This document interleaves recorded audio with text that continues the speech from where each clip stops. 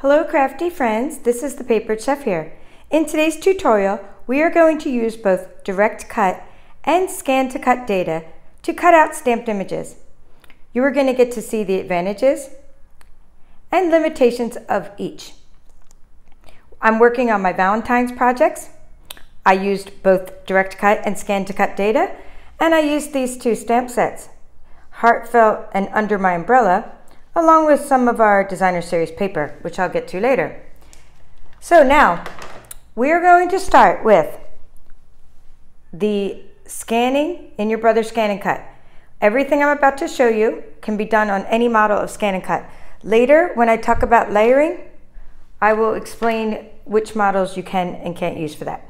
So this is a this is my favorite Valentine stamp, and when I say that favorite, I mean I probably have 20 stamps that say Happy Valentine's Day, but I really, really love this one. It's on the Heartfelt stamp set. And here's why. I like how when you stamp, and I used real red ink, I like how the, the script font is really crisp in the inside. So what we're gonna do is we're gonna use direct cut to cut these out. Now you might be saying, I have heart punches, and so do I. And I love punches, and I've talked about why I love punches on my Facebook recently with the new Please Us punch paper. But check this out. We have I have this heart punch, and this is kind of how I got this idea. When I punched out one of these hearts, it came out great, but it put an outline distance, which I like. But I thought, wouldn't that be fun to just directly cut out the heart? Then I can punch out another layer using this heart punch. And I even have another heart punch to cut out one more layer. So that was the limitation of my punch. The limitation of the punch is that it's a fixed size. But when you use your scan and cut, you can do all kinds of things and all kinds of layering. So let's just use direct cut and cut out the hearts. I of course have lots of samples to show you to make this more relevant. So we're going to start with you turn on your machine, you see pattern and scan. We're going to select scan. Now, when you want to directly cut out something like these hearts, you're going to use direct cut. I'll explain why you would use this next one. The when you directly cut out something, you can do several things. You can cut out the shape along the line. You can cut outline distances around it to make it layered. You can create extra offsets. Okay, and I've done this in, in my channel where you take sentiments and you can layer the sentiments. Okay, so you would put offsets to make different layers. It adds dimension to your project. So that's direct cut. When you use direct cut, you're not storing anything, you're just temp temporarily storing something. So it's asking where do you want to store this information? So just the information you're converting. I always select to my machine. And I'm going to select 12 by 6 recognition area, or the scan area, and black and white recognition mode. What does that mean?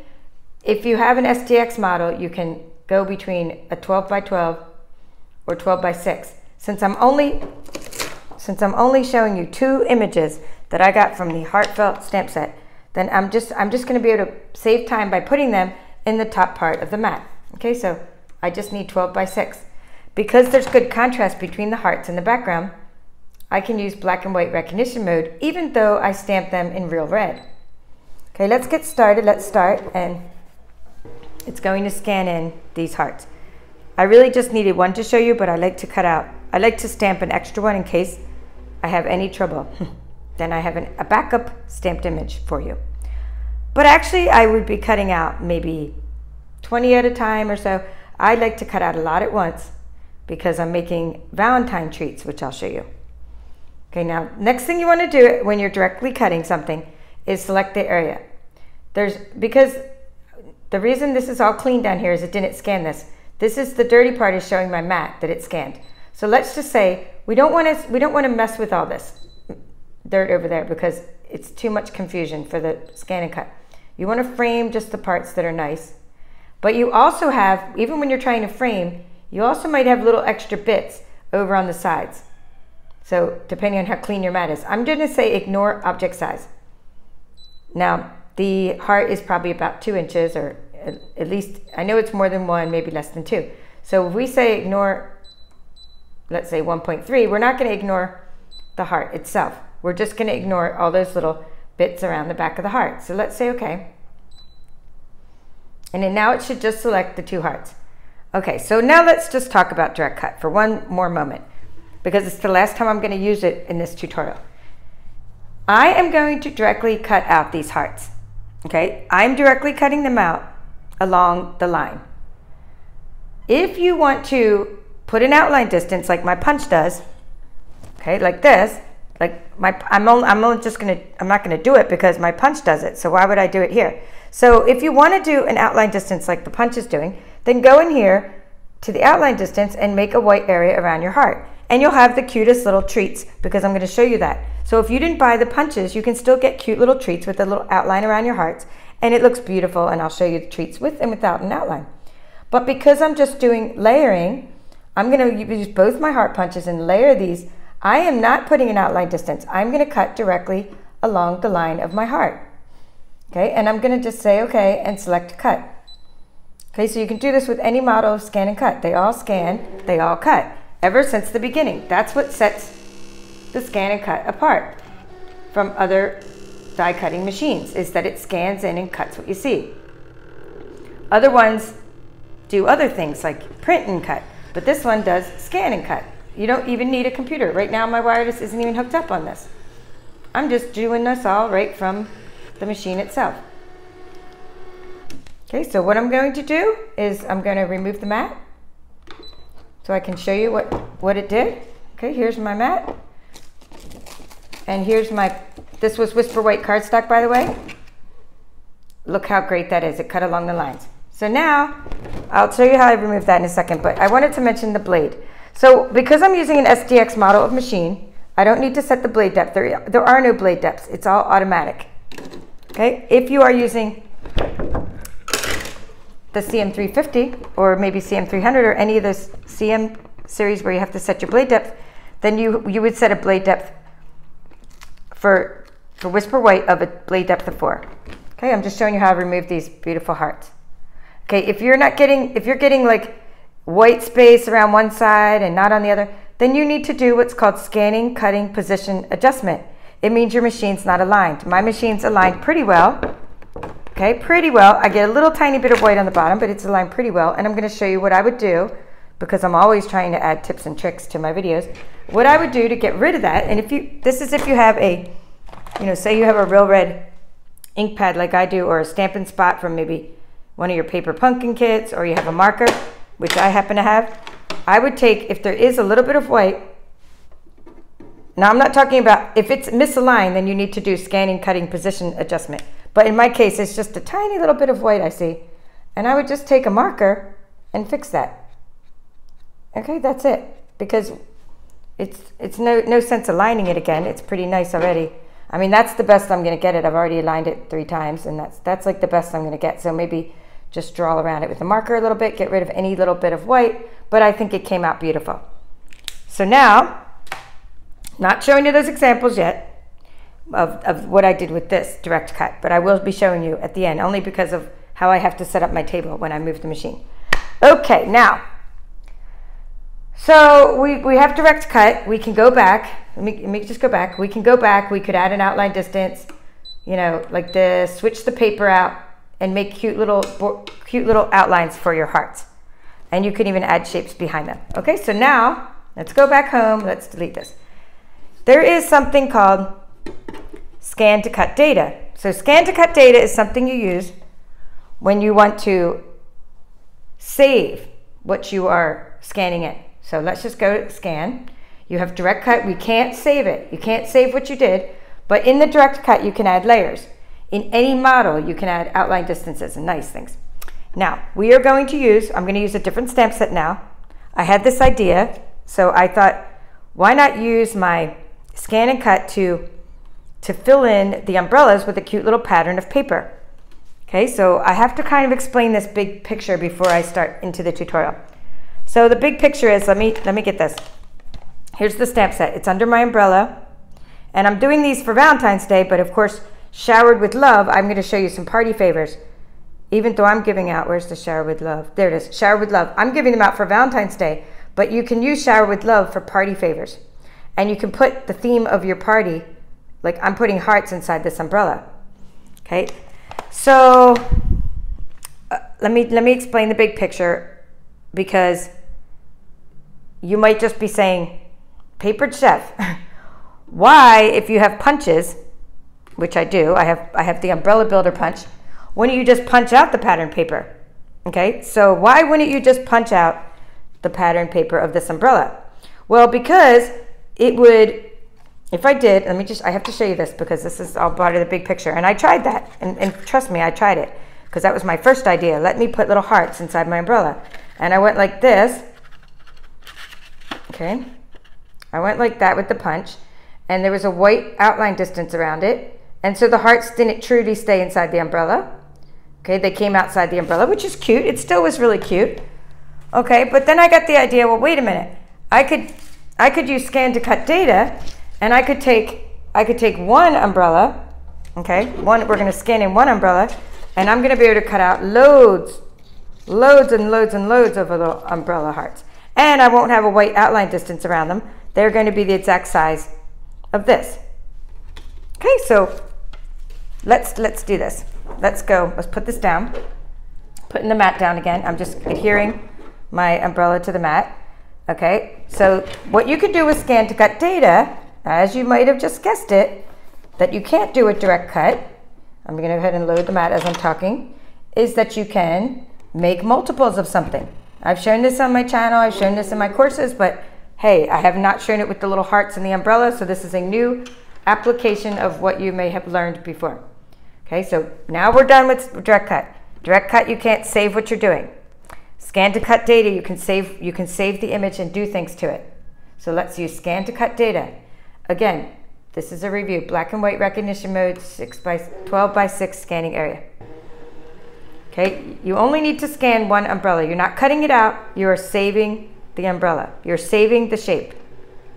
One shape, you're saving the outline of the umbrella. So it recognizes it takes longer, a little bit longer than a direct cut to recognize.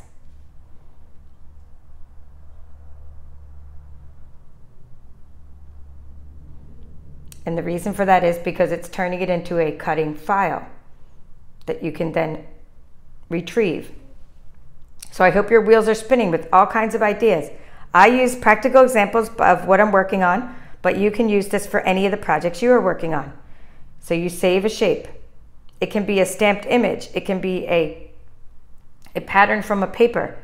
It can be a die cut that you cut out. I've done this tutorial with many different applications. But bo bottom line is you're saving a shape. So here's my umbrella shape that I want to save. Again, I need to, you know, just select that one little area because I have a lot of dirt on my mat. So there's when you go to scan to cut data, it's asking, do you want the outside of the the outside of your scanned image, that's what I want, the first option. The second option is do you want the inside and outside of your stamped image or your pattern in case you have a pattern paper. Um, this one, I did example of that. I've done many examples of that one, like cutting the inside of a butterfly. We're not using that. And this one is just selecting all the lines, all the lines all over. And like they turn them into a bunch of um, like line drawings, like, I mean, it selects lines that are not even connected. It's kind of a hot mess, this one. I like using the first and second option. So the first option, let's select it. So we have the umbrella, and we're going to go ahead and zoom in. Not zoom in. We're going to we're to get a selection area. Selection area, and we want just the umbrella. But of course, I'm going to ignore object size in case any of these little dirty bits got into the back. And even it's taking a while because it's processing because I selected that area. I can't even select this yet. Don't worry if your machine's not responding as fast as you can think because it, it is a computer processor after all. So just ignoring some small bits. See, and even when I say okay, it took a minute to respond. Say okay again. And by the way, this is line smoothing, which I hardly ever need to use. That, that's how to smooth but it, it usually does a great job just of selecting what I scanned in. Okay, so there you say, okay, it processes it. Now, it's asking you where do you want to save the image. I, I, didn't, I don't have the wireless hooked up right now on this machine. It's not hooked up to my router. So I only have two choices. I can't even use the Canvas workspace because my wireless isn't hooked up yet, but it usually is. But I'm going to save it to my machine or to a USB stick. That's you put the thumb drive in the back of your machine. I'm saving it to the machine. It's a lot easier. In fact, one of the advantages of having a Brother Scan and Cut is I can save like all my projects. I'm already up to over 100. Okay, and it's I can save all my projects. Oh, I guess you're not allowed to do over 100 because it just, I'm bragging that I can save over 100, but it probably was like, whoa, you've reached your limit. And instead of telling me, it just decided to restart. okay, let's see if it really saved it. So we're going to see if it really saved it, 101. I'm going to go retrieve data. So after you've done saving, you've done scan to cut data, you saved it. It said it was number 101. Let's try it. So you turn on your machine again. It could be the very moment later, like I'm doing, or it could be days later. You're going to hit retrieve data. Where do you want to retrieve it from? Your machine, yes, that's where mine is. Crossing fingers. The USB stick, Canvas workspace where you saved it wirelessly, or with a USB cable to your, to your computer. But no, we want to retrieve it from our machine. This is the way to get down to the bottom quickly. And there's my umbrella. Okay, and this is what I'm going to show you how to do with it. So let's, 101, yes, there's my umbrella. So you're saying, uh, Papered Chef, like you just spent all this time, you know, saving one darn umbrella, and you know, and you even have a punch. Like what, what gives? All right, so here's why you want to do this scan to cut data. This is the biggest advantage of using scan to cut data. Is this? We could just cut it out right now, and it would if I left my paper right on the mat, which I'm not going to do. Let me just take the paper off the mat. If you were to leave it in that exact spot and you retrieved it, you can just go ahead and cut that out. But in that case, why would you have gone through all that work? You could have just used direct cut. If you want to directly cut out one thing, you would never use scan to cut data. Just go ahead and directly cut it out. But if you want to make multiples of this, that's where the magic happens. The magic happens because you're going to make multiples of this. So let's let's show you some more skills. Okay, we're gonna we're gonna say okay. Now let's go to edit, and we're selecting the umbrella. Now let's take let's see before I put you all through uh, my guessing games that I had to do. Let's do let's let's see how many I fit on here. One, two, three, four across. One, two, three, four. What was that? One, two, three, four, five, six, seven, eight, nine, ten, eleven, twelve. 12 times 4 is 48. I know 48 of these will fit on the mat because I've already done it. So let's go Object Edit. But you know, I had to experiment to see how many would fit. Object Edit, it's still selected. Go to the plus, and you're going to select 48. I know 48 will fit because when I used this paper earlier, 48 fit. And if not, you just keep trying to see how many will fit. I'm just saving you time. Okay, so now you're like, wait a minute, Papered Chef, you have a hot mess here. Okay, sure I do. But let's grab a piece of designer series paper and um, let's see which one we're going to use. We're going to use this one. That's going to be our fill. All right, so what we have to do now is we can't cut these right now as they are. We have we have all this. They're all on top of each other. We have to do. We have to align them. Okay. So, and I need to show you the paper to explain something else. I don't just want to cut out umbrellas aligned all over the place. There is there is a way that the Brother Scan and Cut will align the umbrellas to give you the to give you the best use of this pattern. And some some would go like upright and some would go upside down. But we want to make sure because I'm doing hearts in my umbrella, I want my hearts to face up. So when I align, when I'm going to show you how to align these uh, all over to, to use the auto align, okay? We want to make sure that our umbrellas are facing, that the hearts are facing up. Okay, so that's that's kind of the big picture. So let's do this. Let's say okay. Okay, we have to say okay again. We have to get to the auto align. This this button here. So it looks like a couple of uh, really one, two, three pentagons or you know five little sided figures, a couple little triangles. So this little object here with all the shapes in it is how you are going to auto align everything on your screen. So the, the options are, do you want to, do you want to just do like the best that it can do?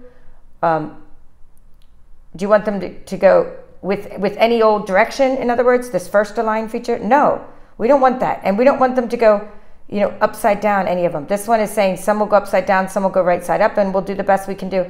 No, no, no. You want the scan and cut to do the third option of auto align. You want this option because the triangles are all facing upwards You want all your, your little umbrellas to be facing this way because your pattern on your paper. Now, if your pattern doesn't matter which way your pattern's facing, then of course select a different option. All right, here we go. I'm gonna put this in. So this is the heart paper and um, well, actually I'm not gonna put it in. I mean, I'm gonna put it in and show you how to do it, but I'll just show you the paper. Okay, we're gonna say okay. And instead of stopping the recording, because you get the idea now, we're gonna say okay, we're gonna select cut, and I would load the paper, I would cut it. We're not gonna do seven minutes. I'm not making my viewers wait seven minutes. I'm not gonna do a editing of my video later. I, I just wanted to suffice it to say that, that they would all cut out. You would remove the mat, you'd cut them all, you remove the mat, and then you would peel them off the mat, but let's show you how to save it. Okay, so that is important. So that's how you do. So scan to cut data. We were able to save the one umbrella. Okay, I'm just reviewing. We were able to retrieve the umbrella. We were able to create multiples of it. We were able to create multiples of it. And then we were gonna we're gonna save it again. We're gonna save it again with the 48 umbrellas. In fact, this particular time I could have actually fit more, but I think I had a different, um, when I did this earlier, I had a different pattern interval set and a pattern interval is the amount of spacing between the umbrellas, so I wasn't able to fit as many, but you could actually go ahead and fit some more along the bottom. All right, so let's just say save. So you've cut out all your umbrellas, and now you're gonna save them so you can use this file again. It's asking, do you wanna overwrite? Yes, I wanna overwrite because right now all that's saved is one umbrella. We wanna overwrite this so you can have multiple umbrellas. Or you could have made a new file. You could have kept one file with one umbrella, and but I overwrote the file, so it means the same file with the same name. Okay, so let's let's explain something else. So I also want to show you this paper real quick. This is a blah blah blah. Let's see, from my heart, specialty designer series paper.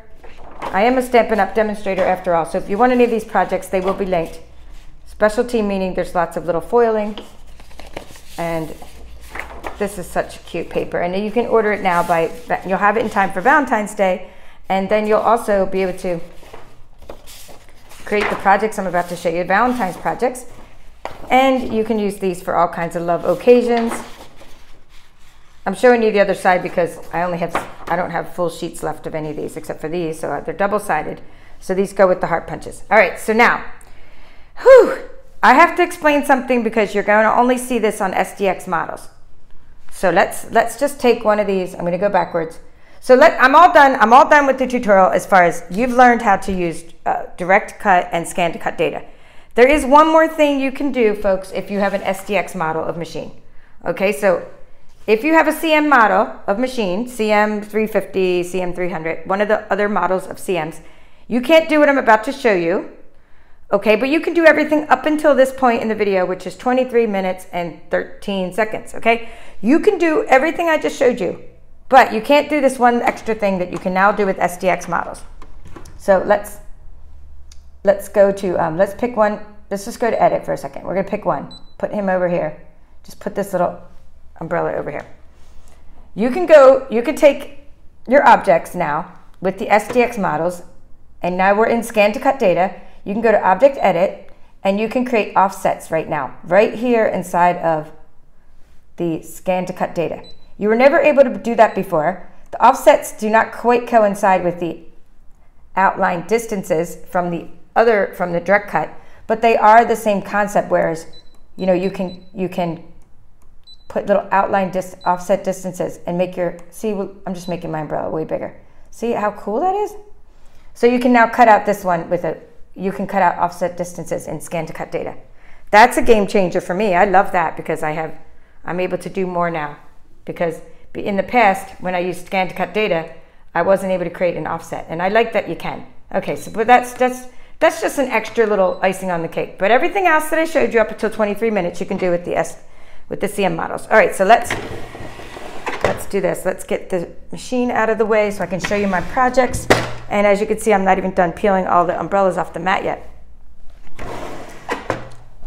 I like to show tips and tricks and things like how I how I you know my thought process works and how I how I got here to these little projects today. Let me put something.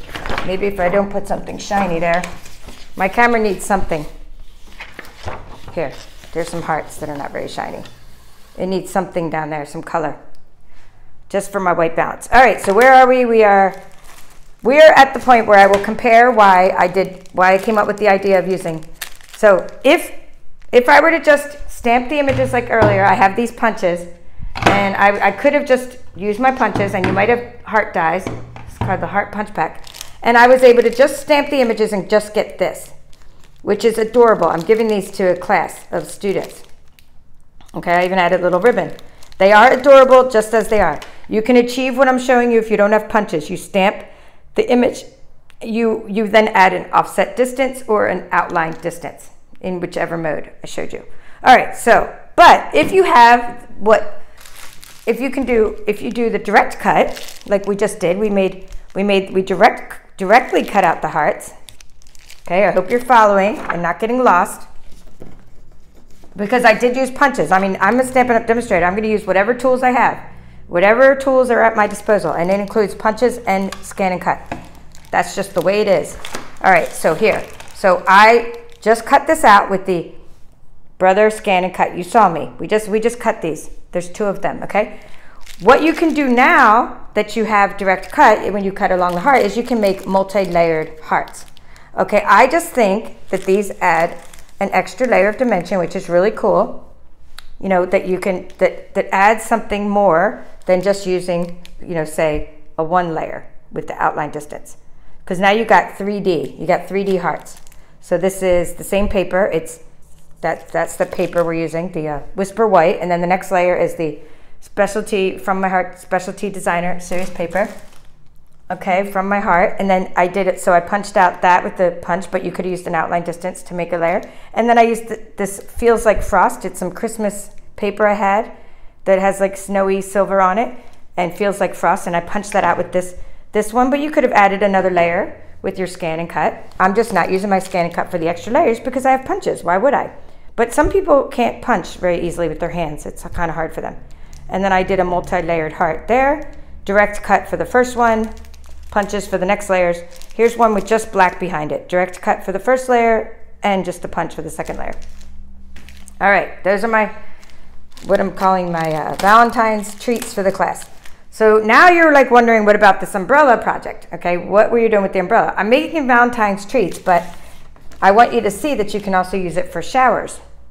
So here are my shower projects showered with love. And by the way, there'll be a link to all my little supplies I use, including which kind of M&Ms I use, the little bags I used. Uh, I'll rate how big my toppers are, which bags I use. Now, you can do this with Skittles. These are Skittles. You can do it with M&Ms or Red Hots. Okay, you can do what I'm showing you with all these little candies. You can make party shower favors. All right, my first favor, this is the umbrella. And I just want to also show you my little Stamparatus tip and trick. So after I got done stamping all those umbrellas, I, I, I thought they kind of need lines, right? You know, I like putting the hearts inside the umbrellas, but I thought they kind of need little lines. So what I did is I used my Stamparatus to take all of these little hearts that I punched out with the umbrella and I put them, I made myself a little template. I used direct cut. There's direct cut again. I cut one out directly. Okay, one umbrella out. I made it my little template. Now I can take out, I can put in all my little papers into this little template. And there is, can you see that? It does stain, by the way. It's when you have a real red, it stains. Here. I'm getting into the 30 minute mark, so I don't want to be too much longer, but I do want to tap, tap, tap. I put a little bit of real red ink on here. It does work better with a Stampin' Spot. Let me put down my Stamparatus. I'm leaving this set up because I have a lot of umbrellas to make. All right, so then you put down, you, you put a little ink on your stamp and you push down and that's my Stamparatus trick. So it's a scan and cut Stamparatus trick. Of course, it's a little crooked because I've been shaking around, but that's how I got my little umbrellas to have lines on them. But it, they were coming out pretty good like this. But of course, my little template just slipped. See? So that's how I get my lines on them with real red. You don't have to put lines on your umbrellas. They look cute without it. All right, so that's how I did the umbrella. This is just a little party favor container I got from Hobby Lobby in the wedding section. Okay, so that would just be something, I'm, I'm giving this to the teacher of the class. She's getting that one. And then here are my party favors, showered with love. I used some, I used the stamp set. Oops, wrong one. Stamp, shower with love. The stamp set from, I already don't know what happened. Here it is, under my umbrella. That's where I got the showered with love. So these make great little they make great little Valentine's treats, but they also make Great little shower party favors. Oh, here are the rest. Here, here is another one. So I have Red Hots. So I just wanted to show you, you could do it with any kind of candies that fit in these little bags. So I have Red Hots, I have the M&Ms, and I have the Skittles. They all match the real red. There's real red in each of these. The M&Ms is like the real red color. Okay, I was able to cut out 40 umbrellas. I'm still working on it. I'm gonna probably do another page of umbrellas to make more treats for teachers. And I was able to um, put a little outline distance around the outside of the umbrella, which you can't do with the punches because like I said in the, in the first place, kind of how I started this video is when, when I used the umbrella builder punch with the umbrella in the first place, before I started this whole idea in my head, then I was able to, I, I had an outline distance around it, but now I'm able to just use the umbrella builder to make the black parts. The black parts like the handle, and this, but then I was able to use the scan and cut to create the inside of these little umbrellas. And I love how they came out. And then here's my favorite one of all. Yay for party favors. This is my favorite party favor. I used a craft box. I used a little craft box that we sell. And I was even gonna tie a ribbon around it, but I don't think it needed a ribbon. I like the way it came out and I used a, you know, a two inch band. I think I glued the band right onto it, right onto the box. Fill it with treats. Use the, I'm using it for Valentine's Day, but you can use it for, for bridal showers.